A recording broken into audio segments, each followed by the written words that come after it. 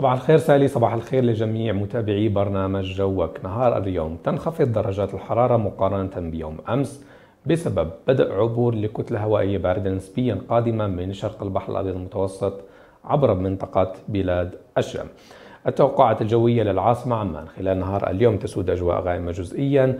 تنخفض درجات الحرارة تسجل 15 درجة مئويا ملموسة 13 رطوبة مرتفعة والرياح تكون غربية معتدلة السرعة. تفاصيل الحالة الجوية المتوقعة لباقي مناطق المملكة لنهار اليوم. نبدأ بالمنطقة الشمالية.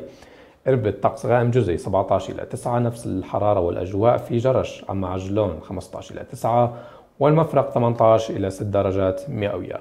المنطقة الوسطى الزرقاء 18 إلى 8 البلقاء 15 إلى 8 وعمان 15 إلى 7 مأدبة 16 إلى 7 والبحر الميت 23 إلى 17 درجة مئوية.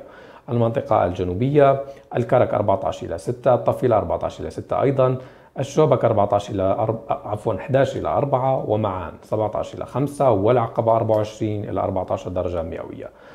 نختم جولتنا بالمنطقة الشرقية الأزرق 21 إلى 7 الصفاوي 21 إلى 5 ورويش 22 إلى 7 درجات مئوية. إلى هنا تنتهي نشرتنا إلى اللقاء.